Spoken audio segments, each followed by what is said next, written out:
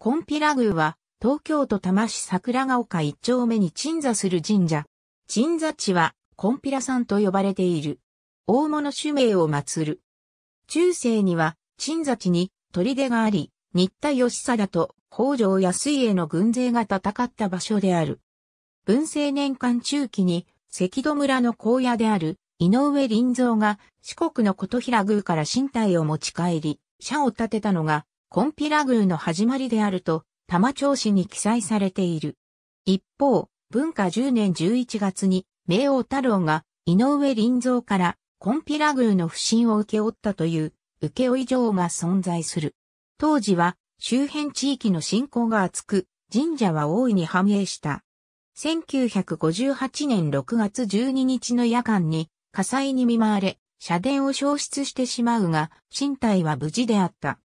1966年、桜ヶ丘住宅地の建設に伴い、桜ヶ丘一丁目54番4号に再建された。赤戸にある熊野神社が管理と祭祀を担う。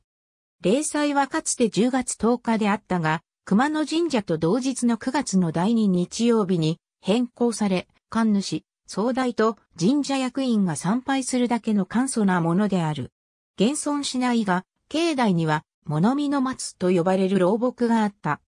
かつて男性に捨てられた美しい娘が怨念を抱いて、夜叉となり、物見の松に藁人形を打ち付ける牛の時参りを続けたところ、男性は発狂して死んだという伝説がある。1995年公開の映画、耳をすませばには、コンピラ宮にそっくりな情景が登場する。主人公の月島雫が野球部員の杉村から告白を受けるシーンで参考にされたと言われている。